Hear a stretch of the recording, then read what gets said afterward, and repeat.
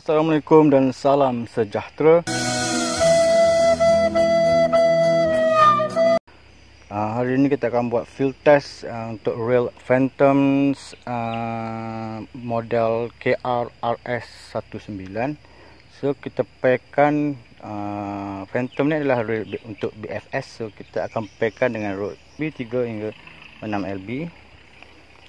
Okey, saya gunakan braided 6 LB. First kita akan test dengan uh, gewang ni dulu. Okey, berat gewang ni adalah Tada! First case kita akan cuba kita akan letak uh, dia punya speed case pada maksimum iaitu pada nombor 5.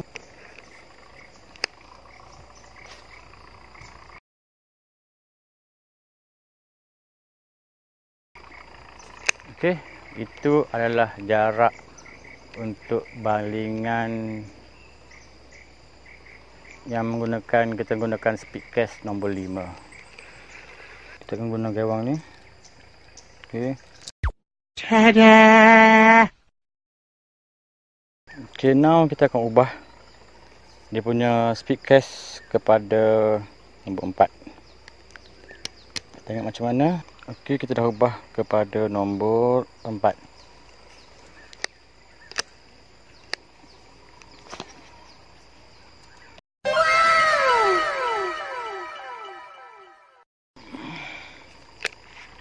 Okey lah, taklah longkes sangat tapi boleh lah.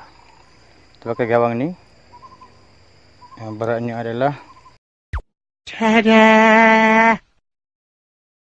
Sekarang ni kita akan longgar lagi kan dia. Kita letakkan, kita akan buka lagi speed case. Sekarang kita letak pada nombor 3. Tengok macam mana.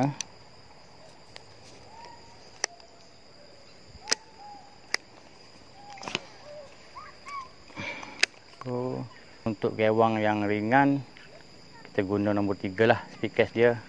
Dan ketatkan sedikit dia punya tension lah supaya tak senang bernest. So agak boleh tahan dia punya case ok now kita akan gunakan yang ni size ni. Tada! So guys, kalau kita letak speed case pada nombor 2 memang ada masalah sedikit lah. Dia senang bernest walaupun kita punya tension kita dah ketatkan gila-gila punya tetap bernest so kita try setting nombor 3 dengan jawang yang ringan ni. Ok tension pun kita buka sedikit saya tengok.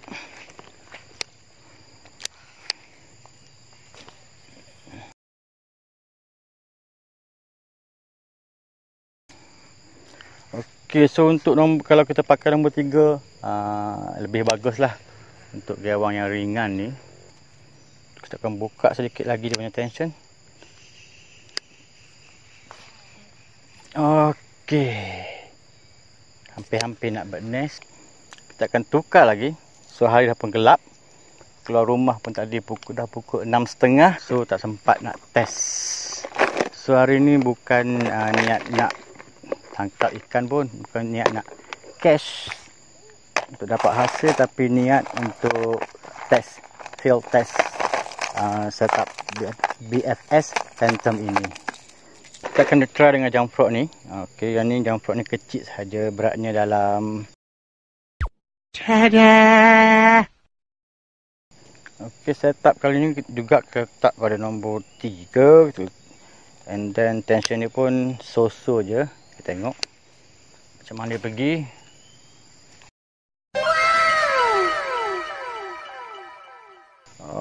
Okey, boleh lah. Boleh lah. Alamak, dia melambung pula.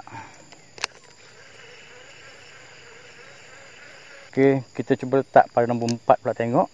Kalau umpan yang seberat ini. Okey, tengok macam mana. So, bila setting kita letak nombor 4, peluang untuk bird nest tu agak tipis lah sedikit. Sebab kita dah, dah uh, maxkan dia punya speed kan. Okey. So tak so untuk berlaku bird nest uh, agak kuranglah dia punya risiko. Tetapi kelemahan dia kita punya gawang tak akan pergi jauh sangatlah macam setting semakin tinggi kita setup setting dia punya speed cast semakin uh, yang dekat kita punya case lah. Okay, sebab dia mengkontrol kita punya speed spool semasa balingan. Okay. Kalau dia macam tak jauh sangat, kita boleh cuba bermain-main dengan dia punya tension lah. Okay, kita bermain dengan dia punya tension, tengok uh, sebanyak mana kita buka dan braided masih lagi belum bernest. Okay. So tak ada masalah yang tu Kita boleh buka sikit lagi Tengok Adjust lagi Kita buka lagi Dan kita baling lagi. Ya itu dia. Boleh Dah semakin jauh Dan bird nest Tidak berlaku. Lagi kita adjust. Kita longgarkan lagi. Okay. So Okay tak ada masalah. Ah, uh, Nombor tiga best. Okay, last test kita akan guna yang ni. Okay, pensel yang ni. Hari pun dah maghrib. Tada! Letak pada nombor 3. Okay, tension macam biasa. Wah. Ah, best.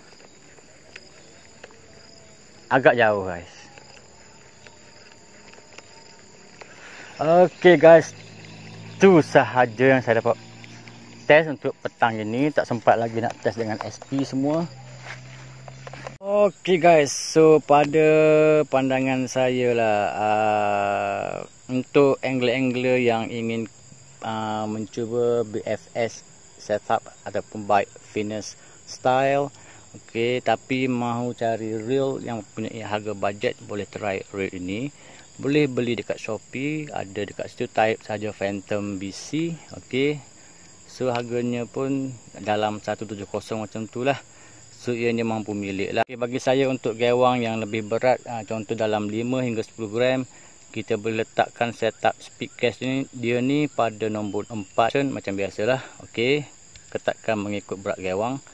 Ha, dan uh, untuk umpan yang lebih ringan Contohnya dalam 5 gram ke bawah speed case dia kita mungkin boleh letak pada nombor 3. Secara keseluruhannya aa, ah, saya agak suka dengan reel ni. Okey, cuma perlukan sedikit masa lagi untuk lebih memahami aa, ah, reel ni. Okey guys, itu saja buat kali ini. Aa, ah, lembu pun dah nak balik ke kandang tu. Okey. So, aa, jangan lupa untuk like, subscribe and comment. Thank you for watching and no hierarchy in fishing. Thank you for watching this video. Don't forget to click on the subscribe and like button and give any comments if you want to say something related to this video and don't forget to click on bell button for more interesting videos from us. Other than that, that's all for now. Till meet again. Thank you.